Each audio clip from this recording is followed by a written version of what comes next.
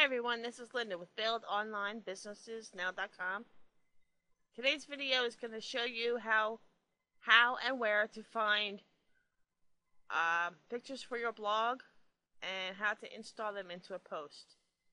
So the first thing I want to let you know is that while some some people may think that they can just go out on the internet and search for a picture and then download it and then use it for whatever purposes they feel they need to use it for.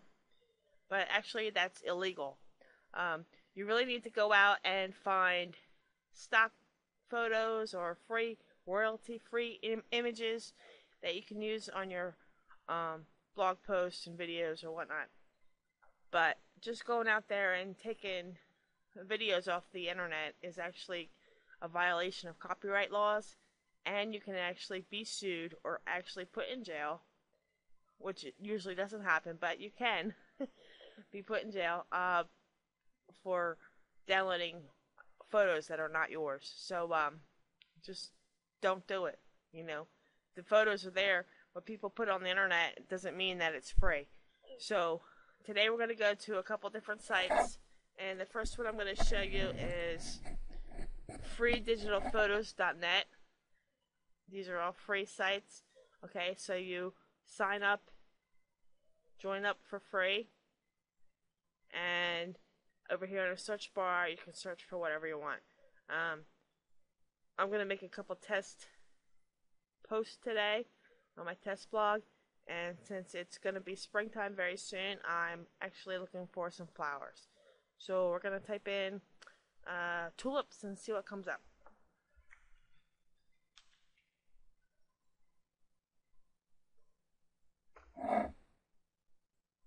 So we got a lot of tulips here. Um, let's see. I'm looking for color. Let's try this one.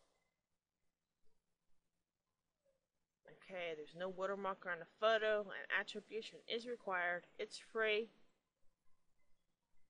and that means we can download it. So we're going to click on download and it says how to publish a credit. We're going to right click and open in a new window because we'll need that for our image in our post. You need to read the terms of use to make sure you understand how this site works. Once you do, click agree. And then the hard part, entering in this code that I can never read. Okay. Uh, once you click on download, you're going to save it and remember where, where you save it at. Then we're going to go over to our dashboard on our blog. We're going to click post, add new, type a title.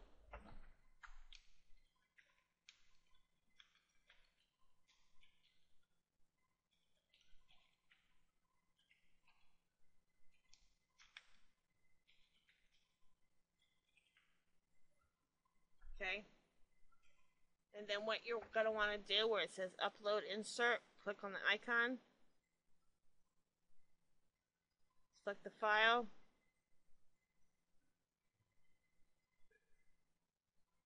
will automatically upload, and there's our picture.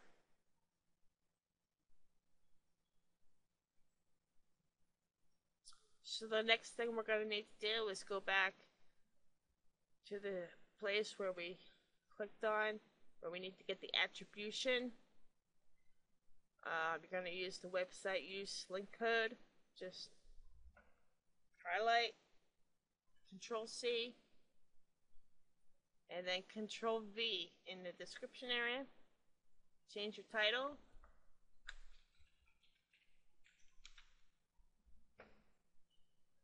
One in the center.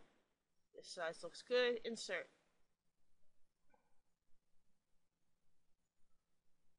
And there's our pretty tulips. So we'll go ahead and publish it.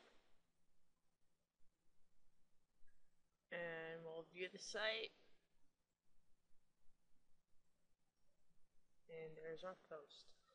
Okay, so a couple other sites that I use are fotosearch.com. And one I found today is kozzi.com. You sign up for free and you get 30 high quality photos per month when you subscribe. So make sure you, once you sign up, you should hit the subscribe now for free button. and then you can get 30 images of your choice for free each month. Okay? And um, the other thing you want to do is go to your favorite search engine and click on um, and search for free distribution photos or free stock photos or royalty free photos, okay? Just make sure you read the terms of each um, site and each image before you download them. Make sure you agree to them, okay? And one other thing I want to show you really quickly is we're going to make a new post. We're writing a title. And then we're going to click upload insert again. And if you've previously uploaded images to your blog, maybe you didn't use them before, maybe you did, you click on media library and then you can find all the other things that you've uploaded. So click show and if you've already filled in this information, you just go ahead and insert it into your post. And there's your picture. Publish it. And then view it. There it is. Very easy. Um, I hope you found this video helpful. Thank you very much for watching. Have a great day. Bye.